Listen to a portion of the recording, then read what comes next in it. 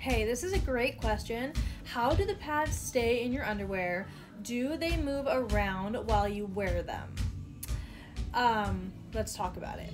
So, there are a few things you need to keep in mind when you are using cloth menstrual pads. Um, first and foremost, you want your underwear to be snug, well fitting. They don't have to be tight, but they can't be like loose and baggy. And if your underwear are already sliding around on you, then anything you put in your underwear is going to slide around. So, um, we like to use our snug, well fitted underwear. Make sure they are cotton or something that is not slippery, like lace or silk or satin um, because nothing's gonna really stick to those and stay in place. So I'm wearing a cotton shirt. These are cotton underwear. The underwear are sticking to my shirt, right? So, um, our cloth menstrual pads here at Caring For have a soft, fleecy backer on them, which helps give them some grit. Now there are other makers, um, mostly the China cheapies that you get off Amazon or Wish, or like Al- I think AliExpress.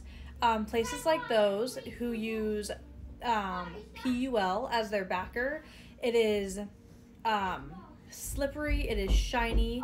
It will just slide all over the place, slide right off, even if you have like cotton or grippy type underwear. And ignore my kids playing in the background.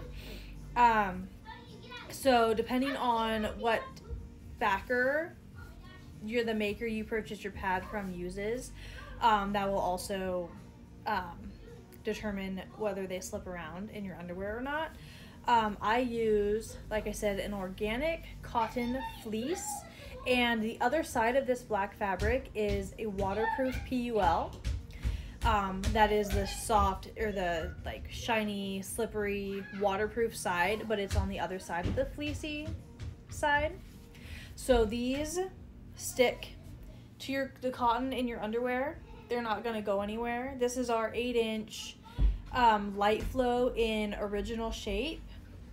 Here is a 14 inch heavy flow in flare.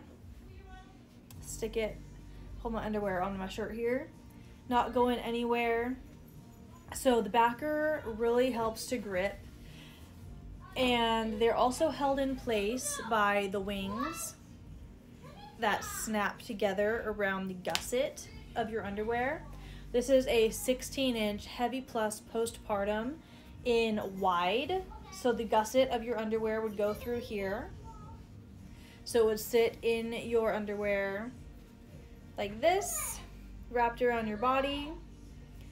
Um, so with the wings around the gusset of your underwear, the pressure from your body holding the pad to the nice, snug, well-fitted underwear, and then the um, fuzzy grippiness of the the fleece, you are most likely not going to have any issues with slipping and I'm just holding the underwear here. I'm not holding onto the pad.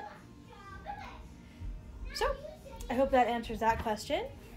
And we do have different topper fabrics on our pads. We have this is a cotton um, jersey knit, and then we also have organic bamboo velour, which is much more fuzzy.